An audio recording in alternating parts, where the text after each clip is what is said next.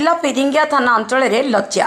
ଷୋହଳ ବର୍ଷର ଭିନ୍ନକ୍ଷମ ନାବାଳିକାଙ୍କୁ ଦୁଷ୍କର୍ମ ଅଭିଯୋଗରେ ପୋଲିସ ଜଣେ ଯୁବକଙ୍କୁ ଗିରଫ କରି କୋର୍ଟ ଚାଲାଣ କରିଛି। ଗିରଫ ଅଭିଯୁକ୍ତ ହେଲେ ଟେଲାପାଲି ଗାଁର ସ୍ୱର୍ଗତ ବିନୋଦ ରଣାଙ୍କ ପୁଅ ଆଶୁତୋଷ ରଣା।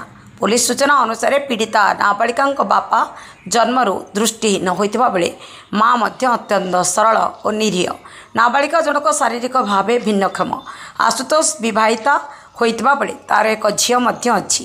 ପୀଡ଼ିତାଙ୍କ ପରିବାର ଅତ୍ୟନ୍ତ ଗରିବ ଓ ନିରୀହ ହୋଇଥିବା ସୁଯୋଗ ନେଇ ଆଶୁତୋଷ ତାଙ୍କ ସହ ବାରମ୍ବାର ଦୁଷ୍କର୍ମ କରି ଚାଲିଥିଲେ।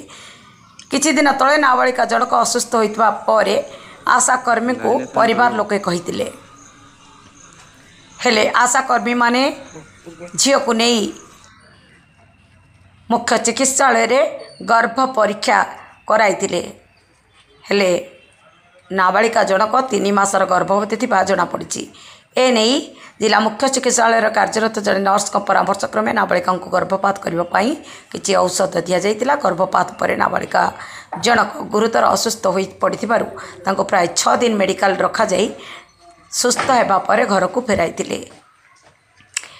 ଏହା ଶୁଣି ତେର ତାରିଖ ପରିବାର ଲୋକେ ତାଙ୍କୁ ନିଜ ଘରକୁ ଆଣିବା ପରେ ଘଟଣାସ୍ଥଳରେ ଶିଶୁ ସୁରକ୍ଷା ସମିତି ସଦସ୍ୟମାନେ ଚଉଦ ତାରିଖରେ ନାବାଳିକାଙ୍କ ଘରେ ପହଞ୍ଚି ତଦନ୍ତ କରିଥିଲେ।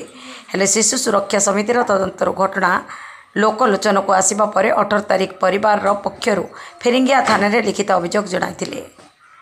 ଥାନା ଅଧିକାରୀ ତପନ କୁମାର ନାୟକ ଘଟଣାକୁ ଗୁରୁତର ସହ ଗ୍ରହଣ କରି ତଦନ୍ତ କରିଥିଲେ। ସୋମବାର ପୋଲିସ ଅଭିଯୁକ୍ତ ଆଶୁତୋଷକୁ ଫୁଲବାଣୀ ସହର ଥାନା ମଣିଆ ଛକରୁ ଗିରଫ କରିବା ପରେ ସଫଳ ହୋଇଛି। ଫୁଲବାଣୀରୁ प्रताप दिगल का रिपोर्ट अभियान समाचार।